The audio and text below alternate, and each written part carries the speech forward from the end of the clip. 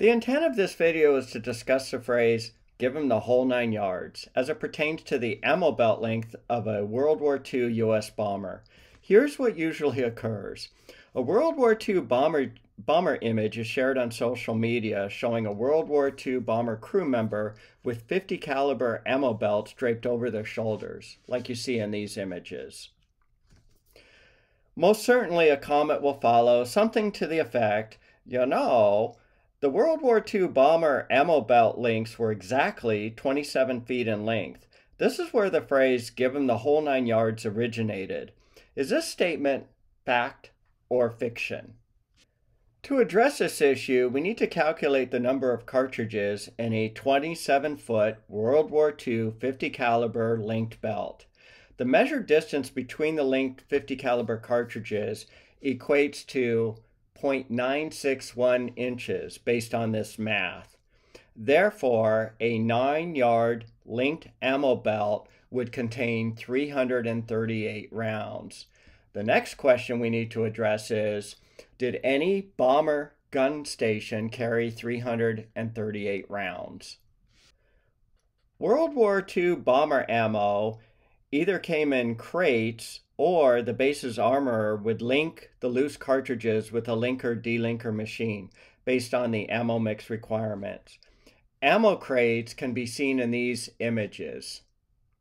World War II ammo crates contain 265 linked rounds. 265 linked rounds equated to a belt length a hair over 7 yards. This chart represents the quantity of ammo carried at each of the B-17 bomber's gun stations. The chart source is located here. Ammo allocated per gun varied between 250 to 600 rounds. None of the B-17 bomber gun stations carried 338 rounds. The tabular data for each gun station is shown here the ammo quantity carried at each of the B-24 bombers gun stations. Chart source is located here. Ammo allocated per gun varied between 250 and 508 rounds. Just like the B-17, none of the B-24 bombers gun stations carried 338 rounds. This chart represents the quantity of ammo carried at each of the B-29 bombers gun stations. All B-29 turrets were fed from ammo boxes that contained 500 rounds per gun.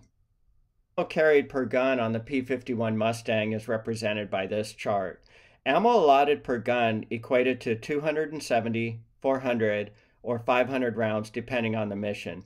Just like the bombers, none of the P-51 Mustang gun stations carried 338 rounds. In summary, a 27 foot linked 50 caliber cartridge ammo belt would contain 338 rounds. No World War II U.S. bomber station ammo box carried 338 rounds. The P 51 Mustang did, also did not carry 338 rounds at any of its gun stations. Other secondary considerations is that, you know, ammo is measured by the number of cartridges, not the belt length. Aerial gunners were trained to fire in short bursts to minimize barrel heat, increase accuracy, and to conserve ammo. It would take 26 seconds to dispense 338 rounds of the 50 caliber cartridge in continuous fire.